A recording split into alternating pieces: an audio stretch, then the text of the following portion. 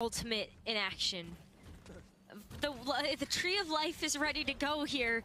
Vicky, we might actually see this Tree of Life work. And for the first time.